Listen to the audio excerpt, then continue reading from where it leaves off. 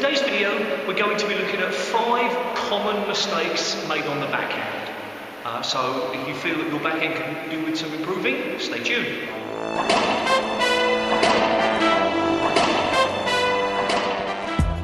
Okay, so what are we going to do is because we've had a little bit of problems with the sound quality because there's quite a lot of noise and I don't have a specific uh, recording facility yet. I'm going to show you the swings and I'm going to overdub. I tried to do them with the ball, but they didn't, it didn't work out quite so well, so I decided to do them without the ball. They're a little bit patronising in some ways because you think, oh, nobody does that. But the reality is that when you're playing, most of these things do happen. So if it seems a little bit patronising, I apologise. I'm not, I'm not trying to be patronising. Um, so as I said, I'll overdub and I'll show you the good with the bad, and then um, hopefully you can sort of see yourself and say, I'm not going to do that anymore. I'm going to improve. Okay, so here we go. This is the first one. Now, this is not watching the ball hit the strings, and I've mentioned this many times in other videos. And what you can see me doing here is a, a, good technical swing, but my head is lifting up. It's as if I'm trying to follow the ball before I've hit it. Now, that's a very common mistake. You can't constantly look at the ball. Here's the view from the other side. I'm looking up. Obviously, this would have been much better with the ball, but it's actually quite difficult for me to hit the ball in a straight line without watching it. Now, you'll notice that I don't have particularly bad balance, but I know that if it were in a real match, I would be losing my balance. Now, this is what you should be doing. Hitting and watching the ball. Now, it might not seem like it's very different, but that fraction of a second that when I make contact with the ball, I keep my head still. I try to watch contact and hear the view from the other side. Now, I'm exaggerating. Of course, I wouldn't be, you know, moving my arm and standing here for such a long time. But this is a practice where I really want to get into the habit. And you could do these. You could just do them so that you don't move your body afterwards very much. Head still. Here's the second one. Breaking the wrist. Now this is a huge problem among many beginners. The first issue here is that initially you can make quite good contact with it. You can have quite a short swing. You can sometimes get the ball out of the corners but in the long term, this is going to cause you more problems than it's worth. Here's the view from the other side. Breaking the wrist again. And you can see that that's actually quite a small swing. There's not much else wrong with it. I'm keeping my head still in this one. And I would imagine that as a beginner, I'm feeling quite confident at this point. I'm hitting the ball cleanly. I'm using my wrist like people tell me I should. But the reality is you shouldn't. Now here's what you should be doing. Cocking the wrist and there's a slow motion not wobbling the wrist at all. And here's from the other side. And you'll notice that my racket head remains open. That means that if I were to make contact with the ball it would be moving upwards slightly whereas when you break the wrist it doesn't do that. Now here's a quick demonstration why.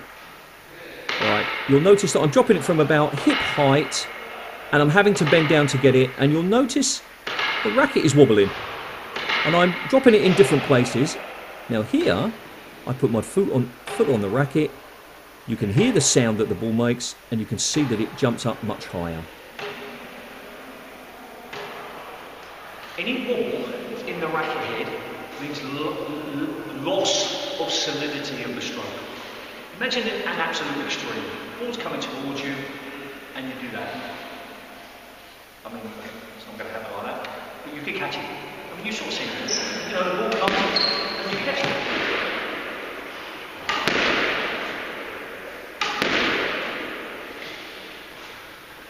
That's an extreme. Any wall makes a difference. Now, as soon as I put my foot on the, uh, the racket, it stops the, ball, the, the racket from wobbling, and the strings do the job. And that's really why professionals hit the ball so cleanly. Because when they hit it, it doesn't wobble unless they want it to. The moment you do this, you can see this happening. I bend my wrist, what's happening to the racket head? The racket head is wobbling. That's why this is so bad on the backhand. Because when you come to hit it, you're effectively scooping. Any of the kinetic energy and the solidity has been lost. You are not maximizing your stroke. Keep the wrist cocked and do this motion the racket head is not moving in this plane. It's moving in this plane, but it's not moving. So when I make contact with the ball, it's solid. And also, holding it like this means that it's less likely to move. Doing this, even if you have an incredibly strong wrist, there's going to be some loss of power.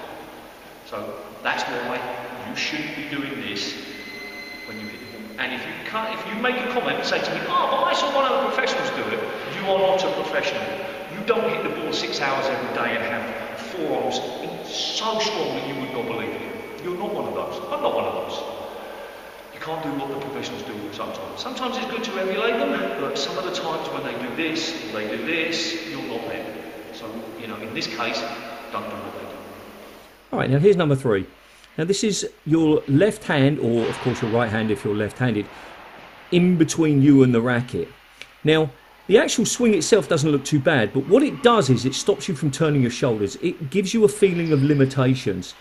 Here's the view from the other side hand in the way. I see this so often in beginners and lower club level players. It's in the way. It doesn't look too bad, but it's not good. You want to get their arm out of the way so it's not blocking you. You never see a professional do this. If that's what you, here's the good one.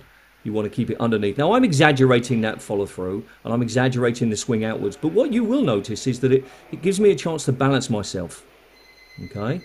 Now, if you need to, put your hand behind your back. It does limit the swing a little bit because the hand shouldn't, the arm shouldn't be there. And if you have to, hold your t-shirt. But what it'll do is it'll teach you to keep your hand out of the way. And here again, here's the good one. Keeping the head still. Here's the view from the other side. Here's the good one. Arm underneath. Balance. You can see that it's a natural movement. Balance. Don't worry about hitting your hand. Maybe you'll do that a couple of times at the beginning but that's just because you're moving your arm too early. It happens naturally. All right, here's number four. Running on after you hit the ball. Now, without a ball, it doesn't look so so good. And of course, in a situation like this, it's it's an exaggeration, but often that's what happens. Players don't have the leg strength, they don't have the balance and the control, and they just keep moving forward. And the huge problem here is that it stops you from hitting straight drives. Because what's going to happen? You're going to go running straight into the ball. So what do you do? You hit cross courts. So you're limiting yourself because of your technique. There you go. From the other side, um, I get on the right foot, but then I step one too more.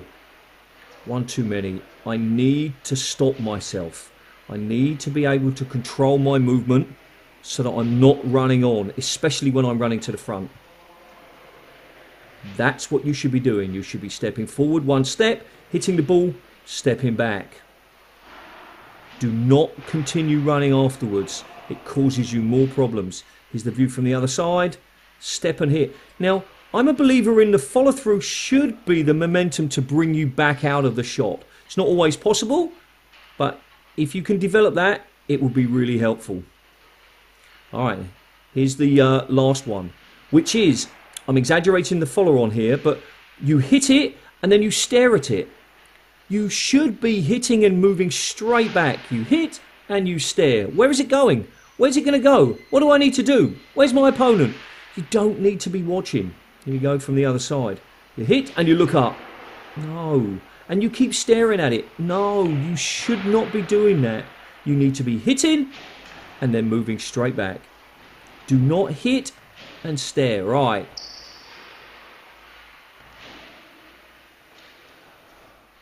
from the other side. Hit and come back. And watch when I'm coming back. Hit and come back. Now I'm not looking up because there's no ball, but I'm not waiting to see what happens. Hit and come back. That's better. Hit and come back. Don't wait for the ball to go somewhere and start staring at it. Hit it and get out of the way. Okay, so there you go. Five common mistakes made on the backhand. The first one was a general one in the sense that it's made on the forehand, whereas the other things can be more specific. Uh, so let's summarise. Watch the ball hit the strings. Two, don't bend your wrist. Three, don't put your left hand or if you're left handed, your right hand in the way. Get it out of the way. Four, don't run on. Make sure you stop. Five, don't stare at the ball actually you should be moving back to the tee faster than to the ball. You only need to move to the ball at the required speed, but you should be getting back to the tee as fast as possible. So that's it. Five common mistakes. I hope you've enjoyed it. I hope you've benefited from it. Thank you for watching. And if these videos are, are of use to you, please consider supporting me on Patreon. And remember, do something every single day for your squash. See ya.